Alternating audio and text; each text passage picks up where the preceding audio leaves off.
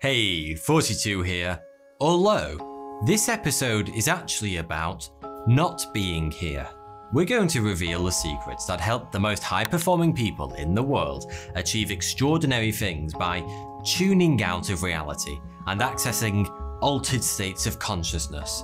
But first, a test. Imagine dawn on the edge of the savannah, a hundred thousand years ago.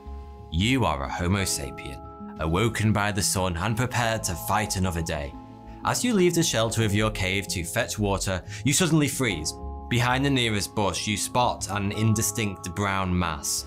Do you, A, assume it's a rock, chuckle at yourself for getting a fright, and carry on with your morning? Or B, assume it's a saber-toothed tiger, soil your loincloth a little, and reach for the nearest spear? The answer is B, and regardless of what you may tell yourself, you had no choice in that decision. Your brain already made that call for you before you consciously saw that brown shape behind the bush. This is thanks to negativity bias, a survival mechanism that evolved to keep us alive by assuming the worst and making it easier for your brain to recall negative experiences than positive ones. It's easy to understand why this trait exists. Let's say you, early human, saw a brown mass and assumed it was a saber-toothed tiger, but later discovered that it was, in fact, a rock. Sure, you would look a bit like a fool in front of the rest of your tribe mates and have to endure nicknames like Leaky Loins, but at least you'd be alive. But if you saw a brown mass, assumed it was a rock, and five seconds later found yourself knee deep in a saber-toothed tiger's jaws, that would be the last mistake you ever made. Simply put, through successive generations of natural selection, those who assumed an inherently cautious view of the world were more likely to survive, and so the negativity bias trait, or as I like to call it, holy nuggets, that's Mike Myers in my shitting bathroom. oh no, it's just a dressing gown. Endured. And, as my dressing gown demonstrated last night, it still plagues our brains today. Modern science has confirmed negativity bias's existence. In one neurological study, participants were shown a series of positive, negative, or neutral images. The negative images triggered higher levels of electrical activity in the brain. This may not sound like a big deal, but this directly impacts the way we see the world and, consequently, behave. Negative events are much more salient, and hence some people end up in therapy because they think their entire life is a train wreck, when in fact, 95% of it consists of positive experiences, only they're long forgotten at the expense of the negative. Do you ever find yourself ruminating over past events or worrying about what's going to happen in the future? Of course you do. Not because you're a psycho and should be watching this from a padded cell, although if you are, here's a small tip. Find the really tall native looking bloke and tell him to throw a sink through the window. No. Your past haunts you because you're human, and your brain is pre programmed to find the negative in everything. The thing is, this survival mechanism is just not as useful as it used to be. Unless you owe them a lot of money, you're unlikely to spend your days worrying about tigers. Instead, you'll be obsessing over the possibility of losing your relationships, your job, or your money. That might seem sensible. It may even motivate you to work harder and be less of a dick to people, but it's not going to bring you happiness or peace of mind. Because even when you think your mind is at rest, it isn't. Instead, you've got a non-stop house party going on between your ears. Thoughts and feelings continually dancing to lousy hip hop and playing beer pong. That's right, your brain gets invited to more exciting parties than you do. Neuroscientists have found the source of this is something they like to call default mode network. This is a large-scale brain network primarily composed of the medial frontal cortex, posterior cingulate cortex, and the angular gyrus, which is sadly not as naughty as it sounds. Studies have shown that even when test subjects are apparently calm and at rest, the default mode network remains highly active, engaged in constant and random mental chatter. Some people call this monkey mind. which is probably quite offensive to monkeys, but at least a good description of how nuts this inner nattering is. Unfortunately, due to negativity bias, most of this internal chatter is quite unpleasant. Imagine an episode of Real Housewives, but instead of slagging off each other's husbands and tit jobs, it's all directed at you. It's exhausting, and it makes you feel crap. So what do you do? Well, here's a quote. After a heavy week at work, nothing helps me unwind like a long glass of water and some quality time dwelling on my mistakes. Do you know who said that? Nobody ever. When humans feel overburdened by the weight of daily life and the voice in their heads, they don't look for a way to check in, they look for a way to check out. To help explain what I mean, here's another quote, a real one this time, from George Bernard Shaw. Alcohol is the anesthesia by which we endure the operation of life. For George, it was alcohol. Maybe for you, it's electronic dance music, Instagram, illicit drugs, prescription drugs, porn, or yoga. Everyone has some way of getting out of their own head and accessing an altered state. Of course, some of these methods are healthier than others. I'm obviously not advocating drug use here, but the objective is always the same tune out of ordinary consciousness. In their book, Stealing Fire, authors Steve Kotler and Jamie Wheal calculate the altered states economy, which is made up of many activities that people use to snap out of reality. They estimate it to be worth more than $4 trillion a year. That's big business. But it's also nothing new. Cultures all around the world have been experimenting with altered states for a long time, possibly as far back as 30,000 years ago. Most of these activities were part of sacred rites and often involved hallucinogenic substances. Whilst you may enjoy a couple of beers on a Friday night, the Mayans took drinking to such an advanced level that they stopped drinking altogether Instead, they took alcohol as an enema, usually mixed with other psychoactive substances, until they were totally pissed and as blissed out as it is possible to be so in a megalomaniac sacrificial Central American ancient civilization. Don't fancy chugging cocaine and green tea up your arse? Well, in Greece, the Eleusinian mysteries saw altered states elevated to a cult level eventually influencing the evolution of Western philosophy. For nearly 2,000 years, the Mysteries promoted clandestine rituals that incorporated ecstatic dancing, fasting, and the consumption of a drink called kykeon, all of which were designed to shift the initiate's state of mind.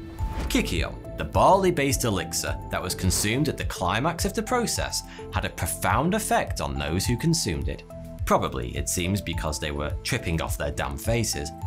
Modern anthropologists think that kykeon was made from barley that contained ergot, a parasitic fungus that commonly infects grains. Ergot releases ergometrine and D-lysergic acid amide, a chemical precursor to LSD. Other researchers believe that the kykeon recipe may rather have included magic mushrooms, which grew naturally in the area around Eleusis. Regardless of ingredients, this potion was potent enough to require hardcore protection.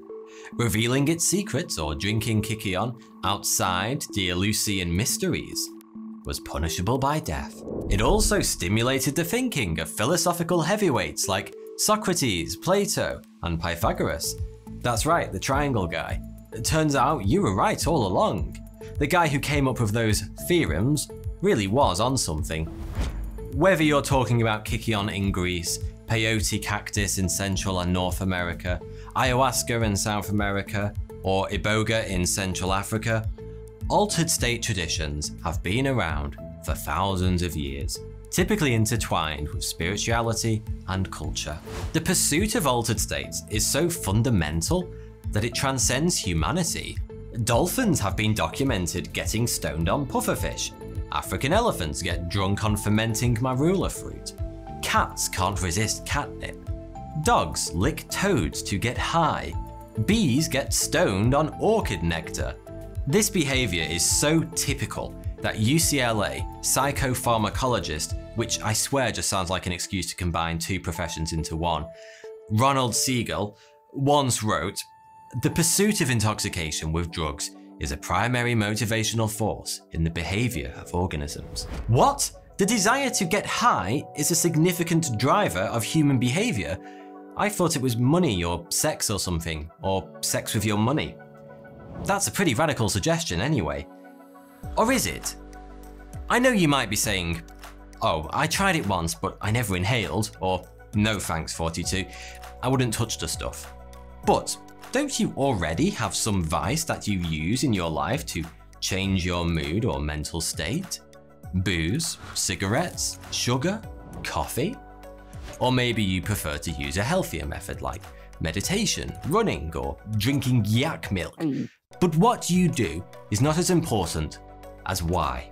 Most people are trying to change their state of mind because they're chasing pleasure or avoiding pain.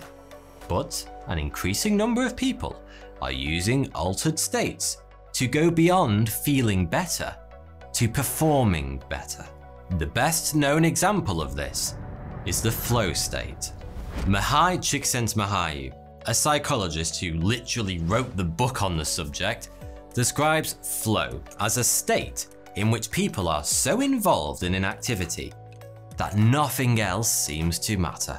Your concentration is so intensely focused on the task at hand that there's nothing left over for the monkey mind to scratch and nibble at. As a result, your problems recede entirely. You enter the zone, a state of tremendous productivity and creativity that feels timeless, selfless, and effortless. You can probably recall a time that you've tasted this, whether it was work, a hobby, creating something, or playing a sport. Most people have had at least one experience of being so immersed in something that hours went by without notice. When you thought back on it, it seemed like the head state you are in was not your usual pattern of remuneration, regret, reasoning, and other words starting with R. If you can recall such a time, you know that this state feels really, really good. That's one of the reasons that scientists have been studying flow and trying to understand how to trigger it. Other than feeling like the physical manifestation of Batman mixed with Jesus, Bat Jesus, another reason you'll want to achieve flow is that it's an optimal state for performance and productivity. You don't enter flow when drifting around on a Lilo or scanning pictures of self loathing morons on Instagram. How about watching thought provoking YouTube videos presented by an antiquated Englishman? I hear you ask, I think. Well, I'd love to say yes, but what you're doing right now will only get you halfway to entering the fabled flow state. I am here to challenge your understanding of the world with new ideas and information. But Csikszentmihalyi's research shows that achieving flow relies on personal challenge and skill. The task you're doing needs to challenge you, but you also need to have just enough skill to do it too much difficulty without sufficient ability causes anxiety. Too much skill without enough of a challenge leads to boredom. No challenge and no required skill is called apathy. If you're in that state, be sure to check yourself regularly for a pulse and excess drool. Flow is an active state, which is why most of the studies done on the phenomenon have focused on athletes and extreme sports professionals. These test subjects report having hugely amplified access to pattern recognition, future prediction, and information processing capabilities. When in the zone or flow, you can make better decisions faster, faster even than conscious thought. Bizarrely, that's because during flow, the part of your brain usually in charge of decision making, your prefrontal cortex, is temporarily bypassed. Why? because it slows you down. And being in flow state is all about reacting and thinking at superhuman speed. During flow state, your brain is filled with a cocktail of neurochemicals that makes you feel alert and ecstatic. Norepinephrine heightens your concentration. Dopamine improves your cognitive alertness. Endorphins activate the opioid receptor, which, along with anandamide, brings on the feeling of bliss Serotonin lifts your mood. Finally, a good shot of oxytocin, the love hormone, leaves you with a sort of post-orgasmic glow that follows most flow episodes. If by now you think the flow state has a lot in common with the other non-ordinary states I mentioned earlier, such as the Mayan whiskey up your arse state, as I like to call it, you're not wrong. Feelings of bliss, expanded consciousness, higher creativity, connection with something greater. It turns out that these are universal qualities of heightened altered states, regardless of whether you enter them through psychedelics or big wave surfing. What I'm essentially saying is, you don't need drugs to get high. Mihaly Csikszentmihalyi has even compared the flow state to tripping. In one interview, calling flow a kind of toned down ecstasy. But research into flow has revealed that altered states in general have more potential than weekend entertainment or conversations with Yoda, and these states can be hacked. Firstly, you have to get your mind right. Research by faculty at the University of Portsmouth found that instructing a group of rock climbers in positive psychology tools like goal setting, self talk, and mindfulness increased the intensity of their flow states, whilst also elevating personal performance. Try meditation, positive mindset development, cognitive behavioral therapy, exercise, and good sleep. And after that, you could channel Pink Floyd and tap into your brainwaves. There are five main brainwave frequencies gamma, beta, alpha, theta, and delta. Beta is where you spend most of your time whilst focused and alert. Alpha is where you're at when you're relaxed and open minded, like when you're daydreaming. Theta is associated with more profound states of mind, like meditation. The flow state happens at the bridge between alpha and theta, when the mind is moving from the conscious into the subconscious. Similarly, scientists at Imperial College London's Centre for Psychedelic Research, yes, that's a thing, found people on the South American hallucinogenic plant ayahuasca, had brain patterns resembling those of people who are awake in their dreams. Finally, more and more people use substances to nudge them in the right direction. No, I'm not proposing you drop three tabs of acid with your cornflakes on a Monday morning. I'm not even suggesting you microdose yourself with tiny daily amounts of psychedelics, as has become weirdly popular in Silicon Valley tech and other high pressure, high creativity industries. It seems that just focusing on good vitamins and nutrients, all made from totally legal ingredients of course, can support the optimal brain functioning needed to access these high performing states. Of course, the fact that you've watched this whole video confirms that you're already a peak stage champion. Go treat yourself to a biscuit, and thanks for watching. What's that I hear you say? You want to experience my new book, Stick a Flag in It, but you can't be asked to read. I hear you. That's why you can now get the audiobook release of Stick a Flag in It over on Audible. You'll find the link in the description below. Thank you.